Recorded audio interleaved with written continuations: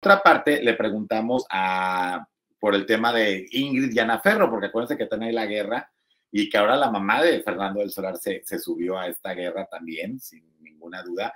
Entonces le preguntaron a, Charlie que vivió una relación con Ingrid Coronado y que vivió algo similar a, a, esta, lo de Fernando del Solar con Ingrid por el tema de una propiedad. Acuérdense que estamos hablando de que, del tema de la casa. Este, él, ¿qué piensa? ¿Quién cree que tiene la razón? Ingrid Coronado o Ana Ferro, y así es como nos comenta el señor Charlie López. Argumenta que le pertenece porque Fernando se lo dejó.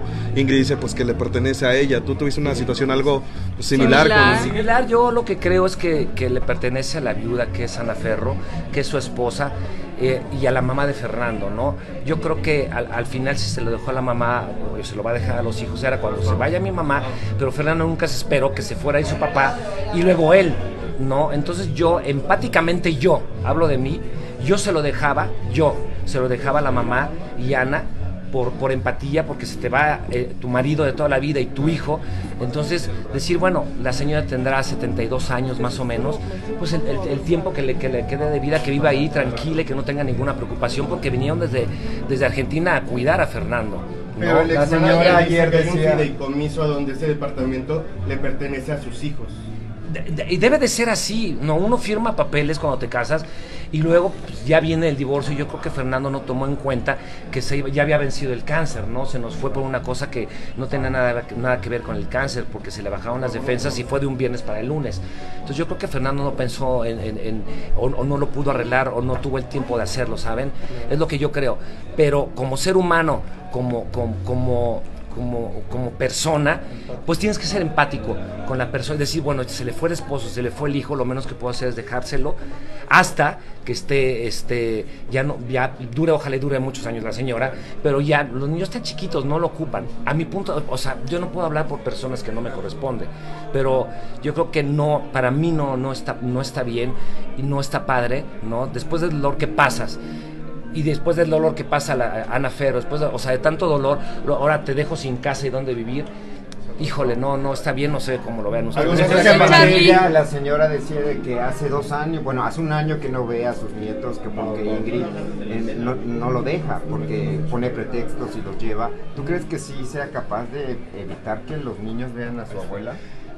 De, después de todo lo que de, después, de, después de todo lo que yo he vivido creo que eh, la señora es capaz de cualquier cosa la, verdad no puedo o sea no puedo decir hablar más porque no me, no me compete yo hablo de lo mío lo mío ahí va a mí se me hace irreal lo que hizo conmigo no, o sea te esperas una puñalada pero siempre viene de la persona más cercana entonces al final de cuentas todo esto se va a arreglar y se, y se va a solucionar con el tiempo no con las leyes y como debe de ser pero lo que argumenta que le pertenece porque Fernando se lo dejó. Ingrid dice pues que le pertenece a ella. ¿Tú tuviste una situación algo?